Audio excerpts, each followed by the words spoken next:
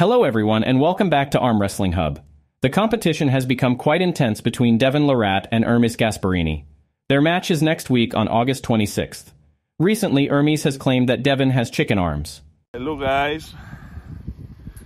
Uh, I'm super prepared for the match of. Uh, for Devon, is bet a little bit strong uh, formula, and uh, I'm here. Look at that for to breath anabolic air.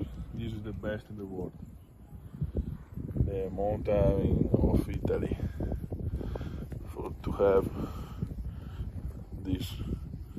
I show the video of them he don't have this. Why?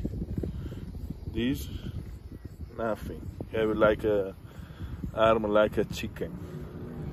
He he he he his weight is 119 kilo. I don't know what uh, he want to do with me. I know he want to do a king move, but my friend uh, is not enough. I already know how to beat the king move.